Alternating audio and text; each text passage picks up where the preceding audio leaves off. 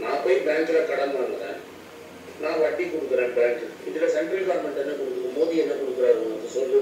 நீங்க ஆறு லட்ச ரூபா கொடுப்பீங்கன்னா பன்னெண்டு பர்சன்ட் வட்டியில பேங்க்குக்கு எட்டு பர்சன்ட் லாபத்துக்கு. இதுல என்ன ரிலீஃப் பேக்கேஜ்